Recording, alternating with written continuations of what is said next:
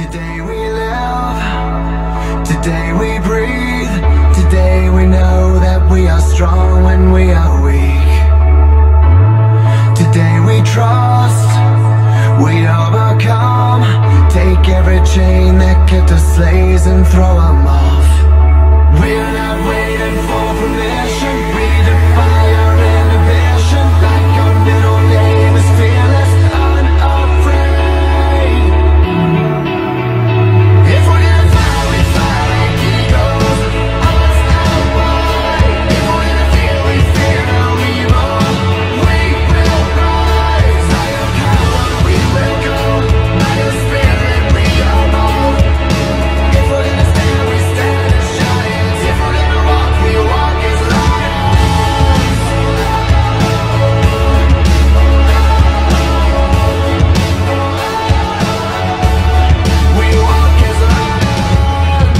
Today is ours.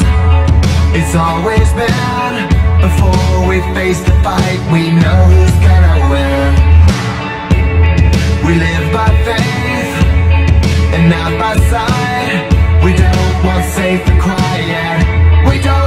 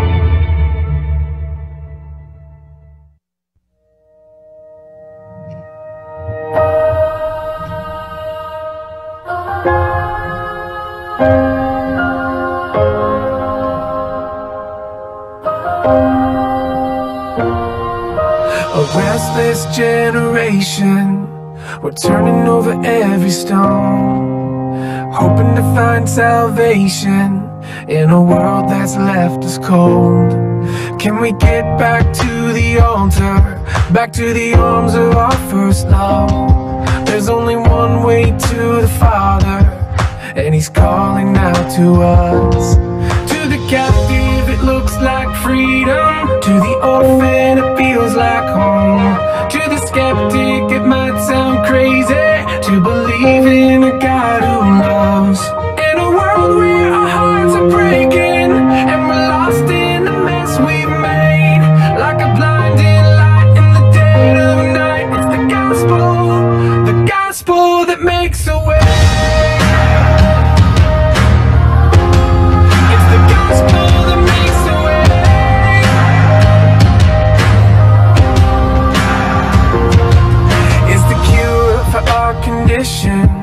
It's the good news for us all.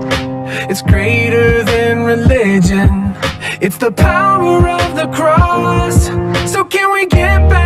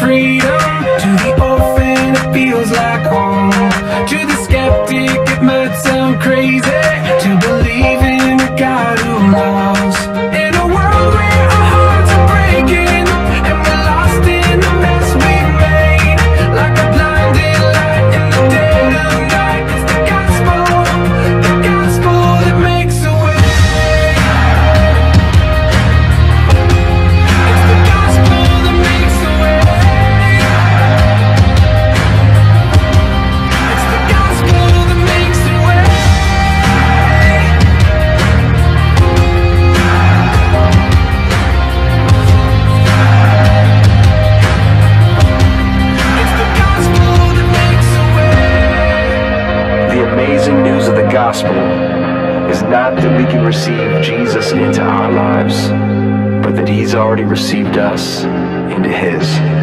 In my own life, it means forgiveness when I know I deserve the fall. It called me out of my darkness and carried me to the cross. In a moment,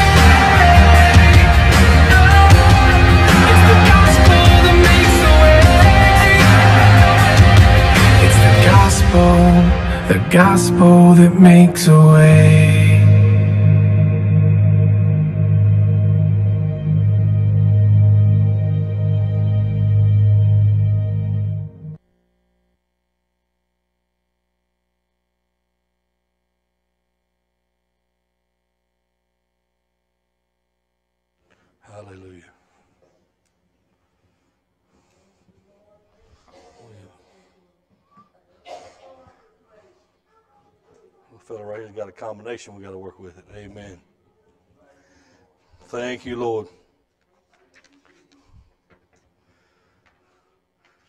As we get started this morning, I know I spoke earlier, I, and I want to, for some reason, I just feel in my heart and in my spirit that uh, testimonies is important to all of us. I, I think, uh, like uh, Sister Kim has testified, when you not always when you get back into things you don't know, but all of a sudden, Brother Curtis, the water seems a little deeper out there. And uh, we have to have that person. We have to have that Savior, that one that's going to be there when we start to sink. And the Word of God says when Peter cried out that uh, Jesus, Brother Curtis, immediately reached down and saved him.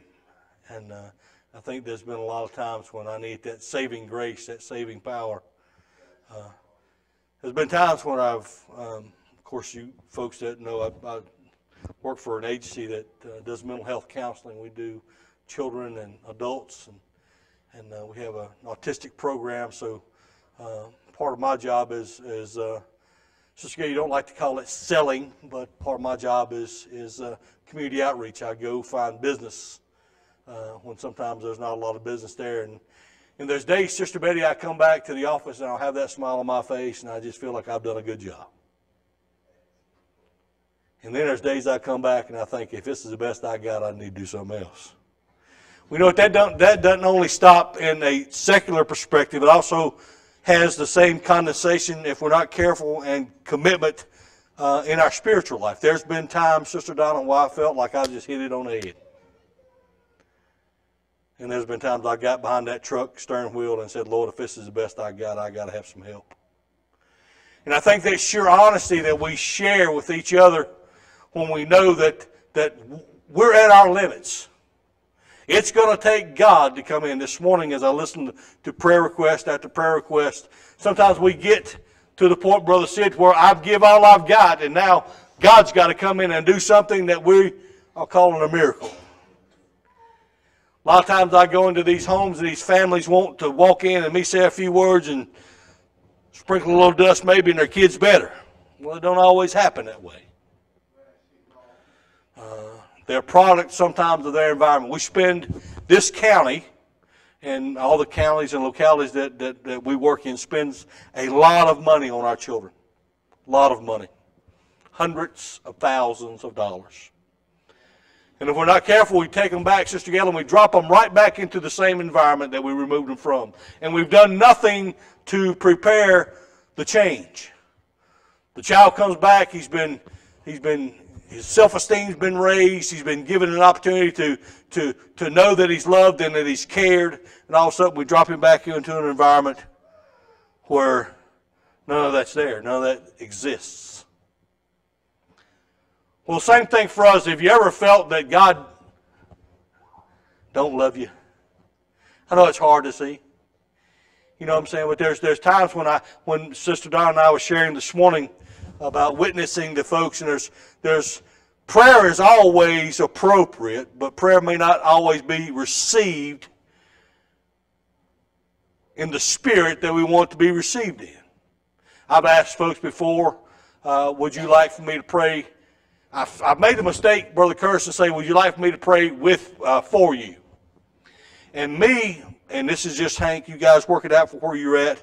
But anytime I said I will pray for you, if I'm not careful, they cast all of that burden on me.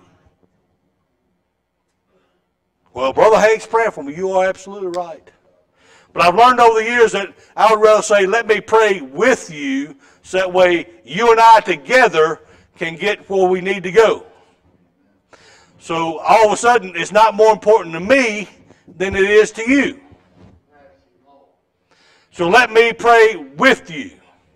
And I've heard the pastor say many, many times that he's been prompted in Walmart. Somebody will come up and see him and ask for prayer. And right there, church on aisle five is instant. Let's pray right now.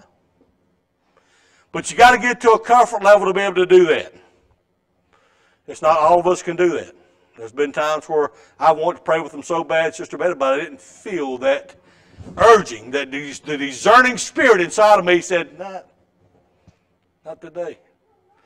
And I do get after that. I want God to tell me when, when is the time, because we know real quick if those that got ahead of God and those that, got, that fell behind God was the ones that got destroyed by the enemy. So we always want to meet God right where God is. And the only way we do that is to stay active at this every day.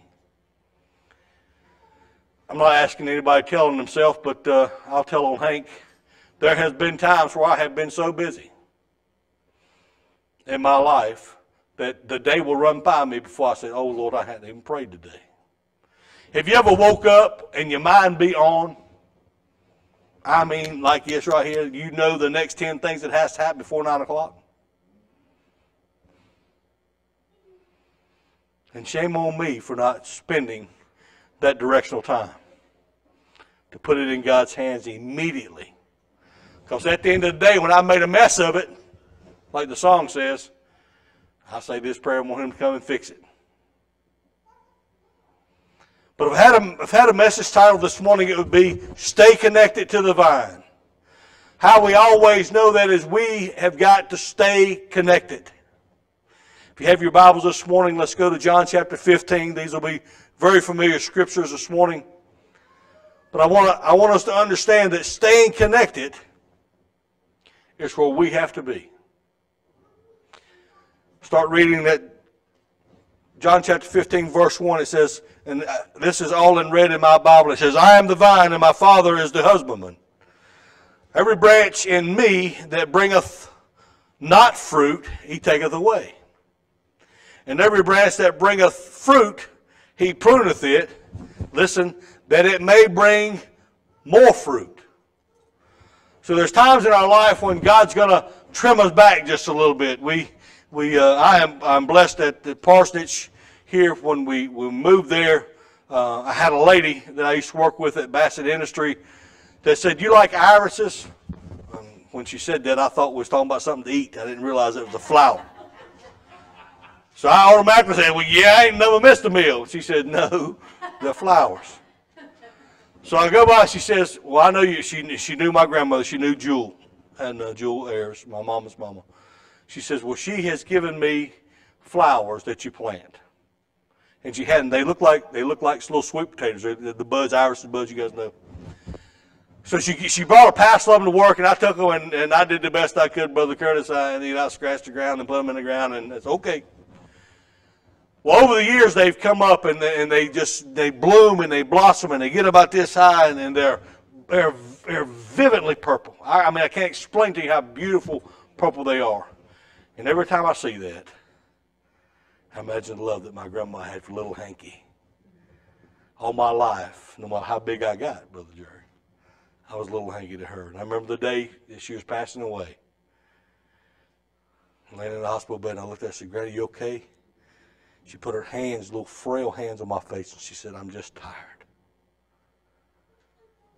And I said, Granny, it's okay.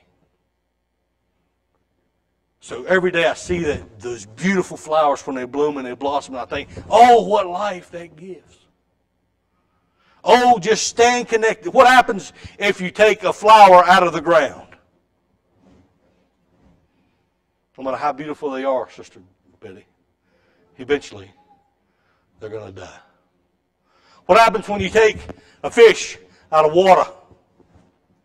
Someone will live for a while, but eventually it's going to die. What happens if you and I, if you and I right here, here today, if we stop breathing, there's going to come a time when we pass out. And by the grace of God, somebody y'all in here knows how to do CPR. And keep that blood pumping. Give those rescue breaths and bring and resuscitate life back into someone. Same thing is with us. If we remove ourselves, I'm telling you, it, it's us. If we remove ourselves from God, where is life sustaining? All of us sitting in here, if you want to start telling the stories on yourself, can realize real fast where life could have ended. I can name six or seven accidents that I've been in in my 53 years that if God hadn't been there that day, his angels protected me, I would be dead. I shared a picture of a truck that me and my son wrecked on one Martin Luther King Monday. And I took those pictures and got them, and I showed some folks. He said, "Well, he said I know somebody had to die in this accident." I said, "No." Believe it or not, as big as I am, I crawled out that little bit of back glass. I thought my shoulder was broken, but I broke the seatbelt broke my collarbone. The impact was so hard. Reached through there and took my pocket knife and had to cut my son out of the seatbelt. He's hanging upside down, and when he fell, he chunked his little noggin. Some of that could be what's wrong with him today. No, I'm kidding. But uh, got that squared away for him. And we're standing there and happened to look up. God is such a blessing. And my mom and dad had passed the accident. Had saw it and passed the accident. And probably God knew that wasn't the time for that, my dad to see me like that, my mom see me. But look up and there's Rhonda and Wayne Clark. Hank, are you okay?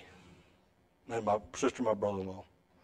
Next thing know, my wife gets a phone call, and they all jet over to they all jet over to the hospital, and that's a, that was the first and to date the only time me and my son share an ambulance. We don't want that to happen anymore. But realizing that that life sustaining, I had to stay connected to. They want to put an IV in me. They want to put oxygen on me. They want to make sure that the things had to happen. But I had to stay connected. The Word of God again tells us here that that uh, every branch that brings fruit he purgeth it, and that it may, may bring forth more fruit. I remember hearing George Myers saying just something simple. He said, You pruned if you do, and you pruned if you don't. Because if we're not bringing forth fruit, then we're going to be cast down. So our life today is fruit. So what is fruit for us? He says,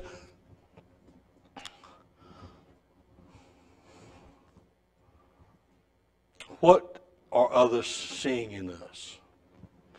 you know, we say we don't judge one another, but we also like to say the church word is, well, a tree is known by the fruit it bears. If I'm connected to the vine, then I'm bringing forth what the vine's bringing, right? Right? Is that right? So if I'm connected to Jesus Christ, should I not be bringing forth the fruit that He's providing? The Word tells us in Galatians chapter 5 Verse 22 it says, But the fruit of the Spirit is love, joy, peace, long suffering, gentleness, goodness, faith. 23 says, meekness, temperance, and against such there is no law. How many times in our day do we challenge this verse to see what we're producing, what others are seeing? It isn't easy when families come against you. It's not easy. It's not easy when you put blended families together.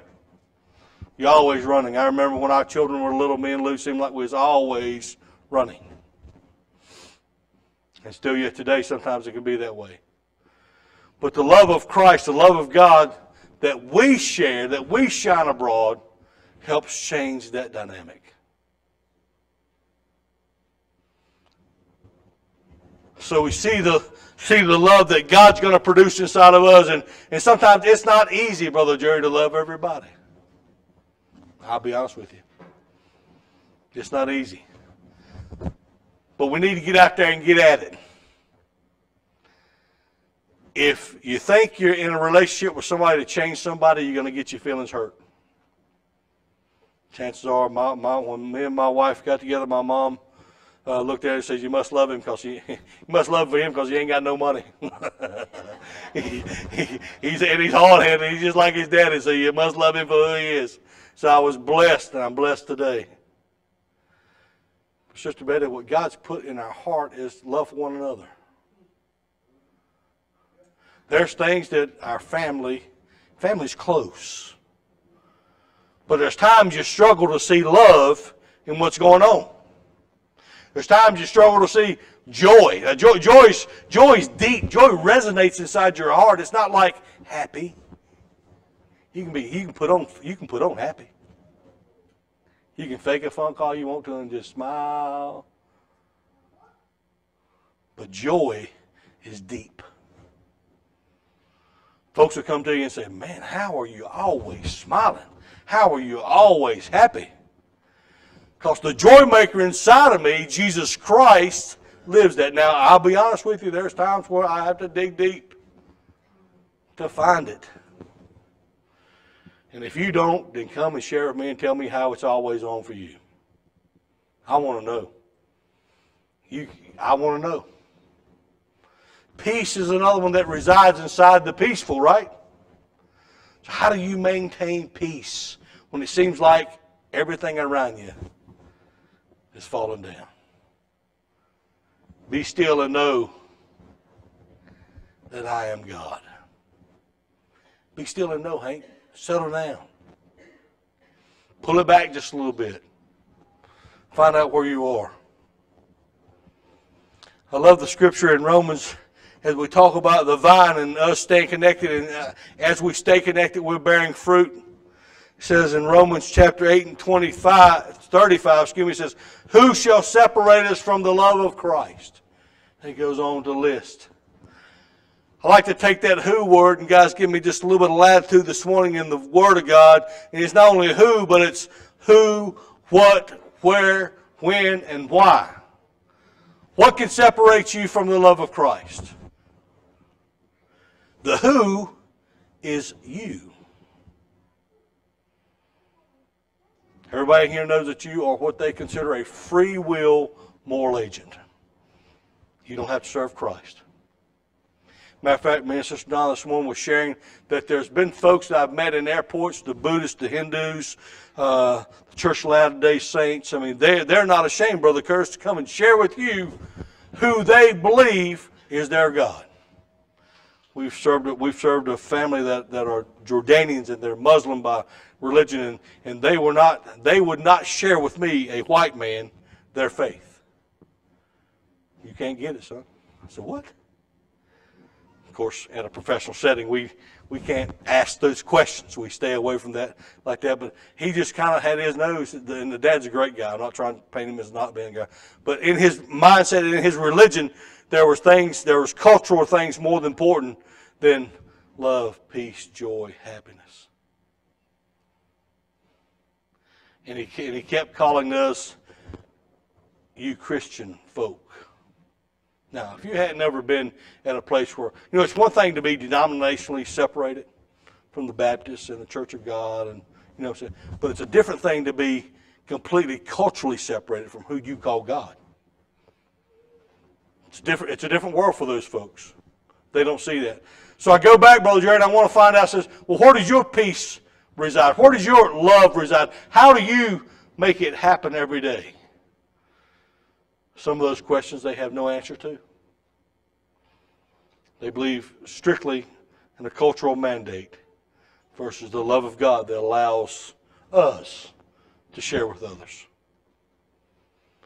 So if we know in John chapter 15 that, that Jesus is divine and God is the husbandman and we are the branches, uh, I, there has been a lot of folks do some gene splicing, if you will. And uh, I believe Brother Zeke and I were sharing there, there's, there, there's a certain tree that'll have red apples on one side and yellow apples on another side, and they've done some, they've done some things at a, at a biological level where they can make that happen. But you know what? A tree is known by the fruit it bears, but fruit within itself is generated through the cycle of life. I love the analogy I heard, I believe it was Dr. David Jeremiah said one time, he said, I can tell you how many seeds are in an apple, but what I can't tell you is how many apples are in a seed. So you start thinking about that. Well, you take one seed, you plant one seed, it grows one tree. Well, one tree, how many apples does that one tree have? And inside those apples, how many seeds are in each apple? And not only for one season, but for every season that that tree produces. So inside of us, the dynamic of the incorruptible seed of the Word of God, what can it produce inside of you? Fertile ground. What can it do? How many lives sitting in here today have been changed, can be changed, and are going to be changed because of you and the love of God inside of you? It's a big number. It's a big number. Because every day you share. Every day the fruit that you bear is seen by others. Oh, oh me or amen. And this is not, I love John Bevere.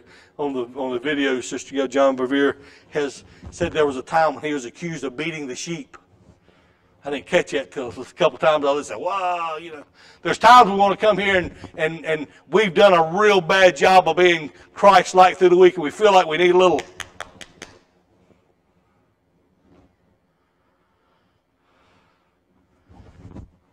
I got a bunch of whoopings from my daddy. But I didn't realize the dynamic of when he said, this son, this hurts me more than it does you until I had to whoop my own son. And sometimes I still don't believe that, but you know, that's what we say anyway. I remember having, uh, we was playing basketball and my son wanted someone else to be coach versus me and, and uh, it broke my heart. Went outside and sat on the, sat on the steps and I was crying so hard I had the snubs. You guys have had that. I mean, I mean, I, I could hardly catch my breath. And wife come outside. She was standing. She put her. I still remember this day. She put her hands on her head and turned my head around and said, "What's wrong?" Bro, don't, don't want me to be his coach. And I was just crying. It broke my heart. Oh, I was hurting so bad. I mean, I felt like I'd just been discarded. I said, I, you know, what am I doing? Well, then he came outside and he was just like, oh, I'm, I'm okay. He's eight, nine years old. He's just bouncing around and I'm crying like I, you know, like somebody's. He said, Daddy, what's wrong? I said, I want to look at him. What do you mean, what's wrong? He said, Daddy, you don't understand. He says, when you're the coach, you got to pull for all the boys on the team. But when you're sitting in the stands, you can just root for me. Well, I sucked that snubbed up real quick and I dried down my eyes, boy, wiped my nose. I felt good because I had an explanation of what his perception of me was. Same thing for us in the love of Christ. When we start talking about the fruits of the Spirit and how dynamic they are, I mean, you look at love and joy and peace and long suffering and gentleness and goodness and faith and meekness and temperance. Against such there is no law. When you look at that ability to shed that and shine that into someone else's life, how quickly can you change somebody by the words you speak? Both ways. Have you ever said something and wish you could grab those words and pull them back? Mm.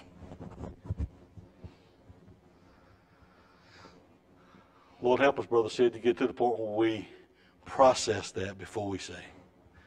It could happen today. But the God that we serve understands that, Hank, you're doing better, son. But I got to get you to be, listen to me, Christ like. The example that he set inside God's word for us to follow is our mandate. It's our duty, Brother Jerry. These two commandments hang all the law and the prophets love God and love your neighbors. The house that uh, Lisa and Joy live in in Fieldale, our neighbor was Miss Hall. And Ernest and Jeanette Carter, who we bought the home from, had planted bamboo to stop the erosion of the creek that runs by the house.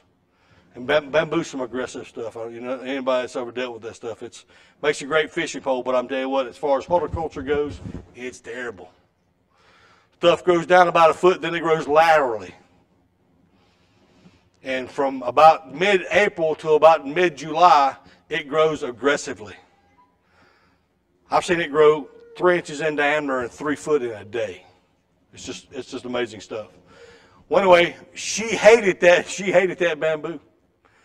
And one Sunday morning, Brother Jerry, I was leaving to come to church, and she let me know how much she hated the bamboo, how much she hated me, how much she hated my dog, the truck that I drove. I mean, she told me everything that she did not like about Hank.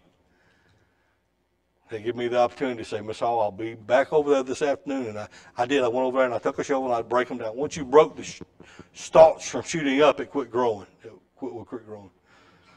So how many, my wife, how the years, Sister Betty, that I spent over there breaking that bamboo. Well, said that to say this. We're finally getting to a place where we're getting it all cut down.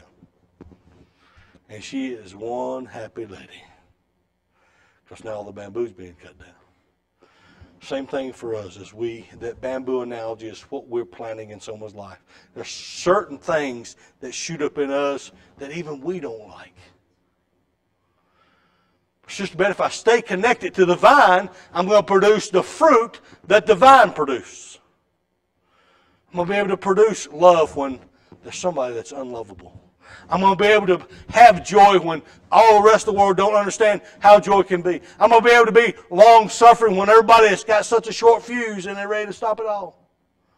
I'm going to be able to stand in faith when faith seems to be impossible. I'm going to be able to love as Christ has loved. Going back to Romans 8 and 35, who shall separate us from the love of Christ? And that scripture continues on, but there's a question mark there. Who is always you?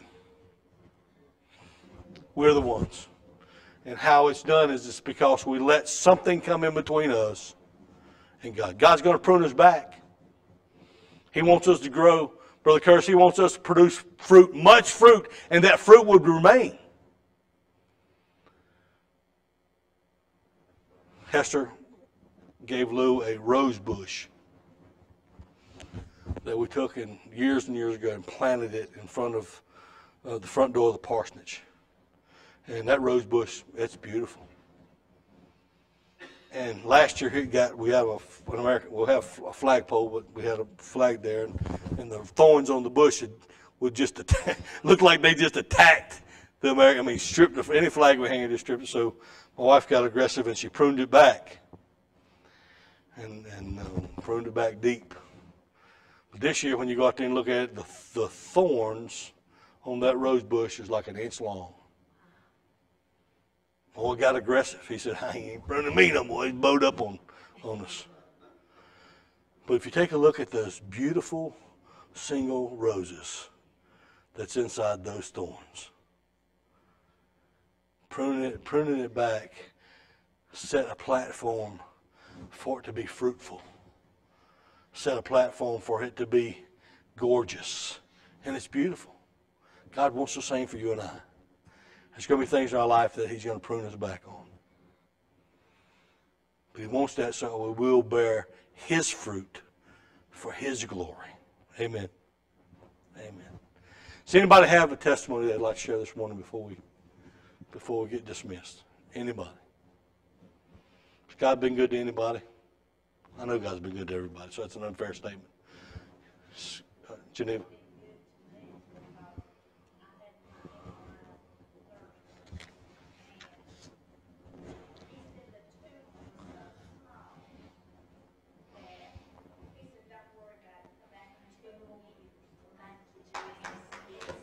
That's right. That's right.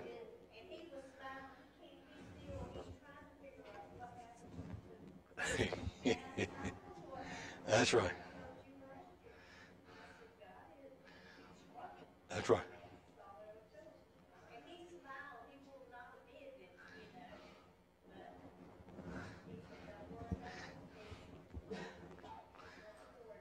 If I can't, I'm receiving that because I've got a lady that's monitoring my kidney functions. And I've told her that I know my God's in charge of it. But these tests that I'm doing, that they measure the proteins that my kidney does, uh, that's going to be a witnessing point for me. I'm going to do the same thing. I know how it goes.